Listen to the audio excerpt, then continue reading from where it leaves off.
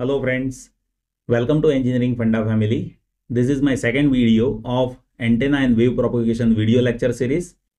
In this video, I'll explain you parameters of radiation pattern of antenna.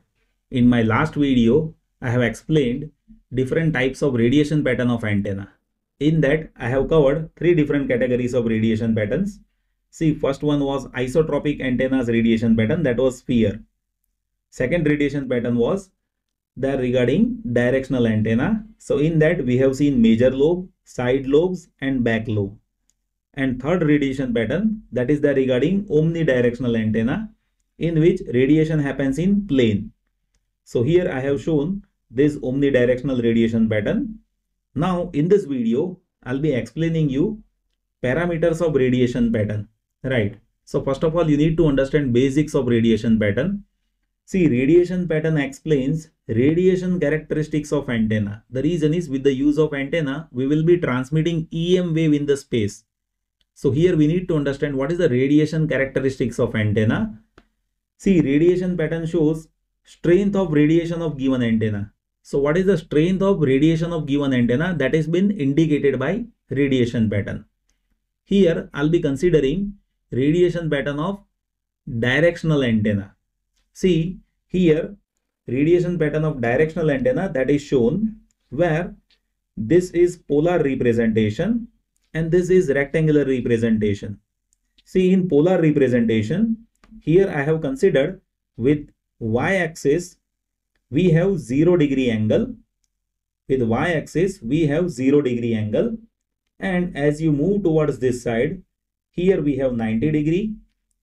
And if you move towards this side here we have 180 degree and if you move towards this side, here we have 270 degree angle and again at 360 degree y-axis will come.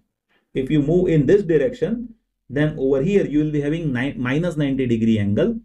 Over here minus 180 degree angle that is how angles will be there.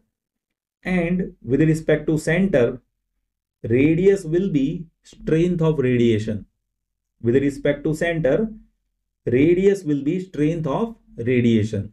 While in rectangular representation, see on x-axis we have angles and on y-axis we have strength of radiation and strength of radiation can be indicated by gain in terms of dB, right? So here we have two categories of representation. One is polar representation and second is rectangular representation. See in my last video, I have explained you radiation characteristics of directional antenna. See with directional antenna, maximum radiation will happen in major lobe. So you can observe, see this is major lobe, right? It is having maximum radiation. So this is major lobe, right? This is major lobe. And see in rectangular representation, this is a lobe that is major lobe, right? In rectangular representation, this is major lobe. See, these are side lobes that is indicated by black color, right?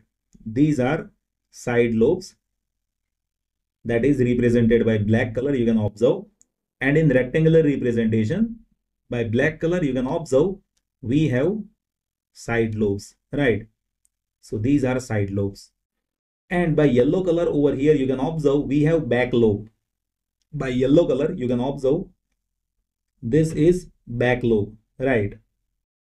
Back lobe is opposite to the major lobe right?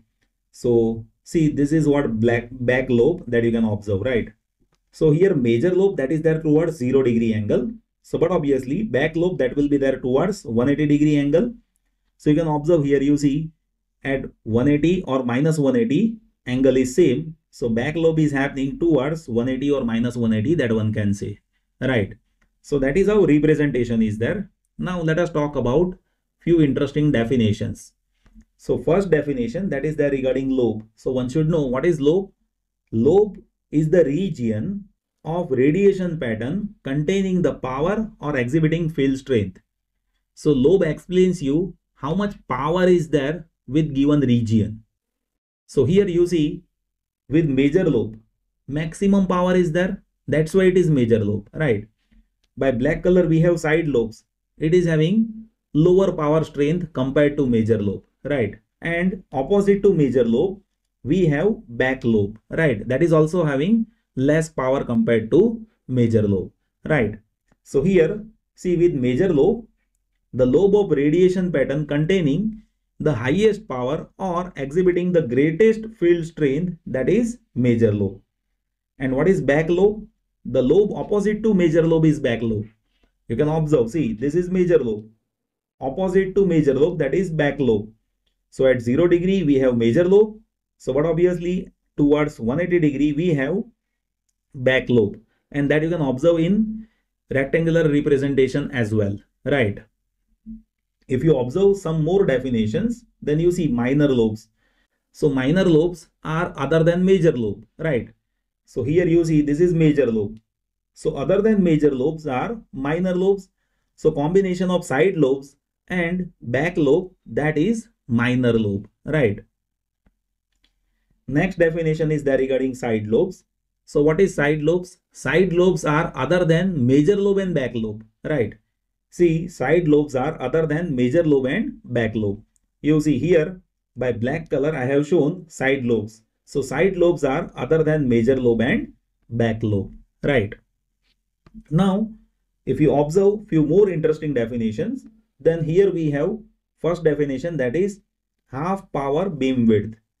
See, it is angular width of major lobe from maximum gain to 3 dB down gain.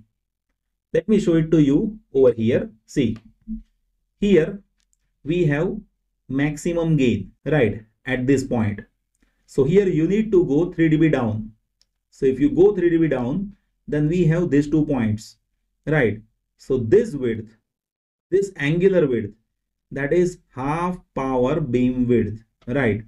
That is how you can have it in rectangular radiation pattern. If you wanted to have that in polar representation then here we have maximum gain. You need to go 3 dB down. So if I go 3 dB down let us say these are the points that is there with 3 dB down.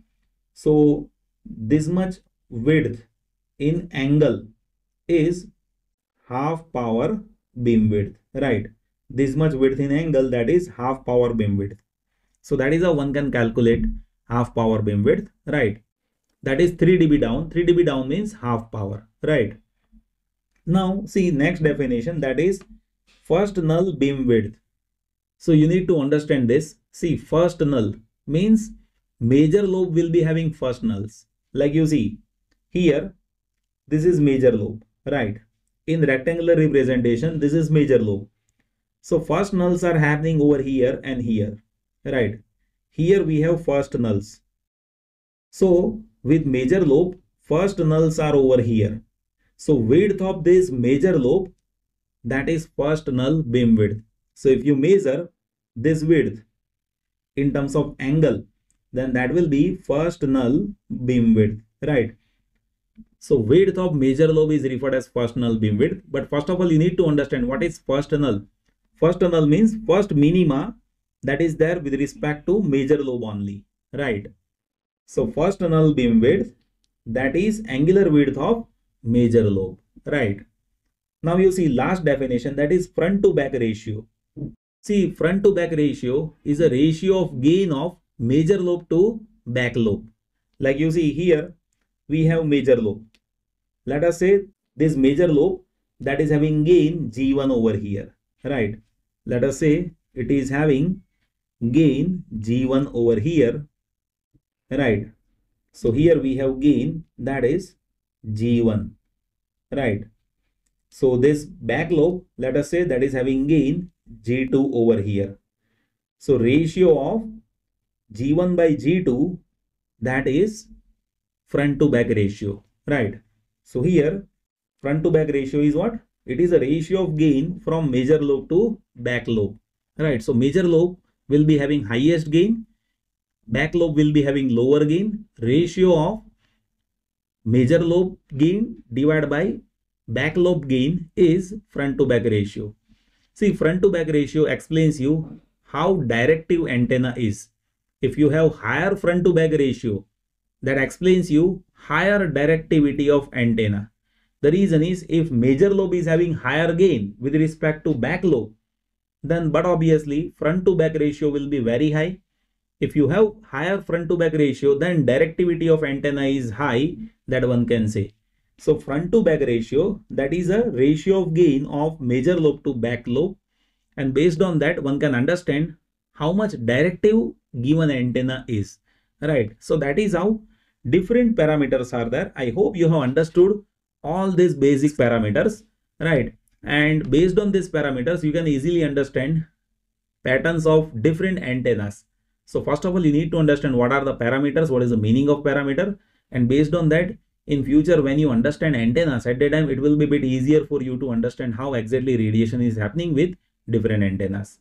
Still if anything that you would like to share please note it down in comment section. I'll be happy to help you. Thank you so much for watching this video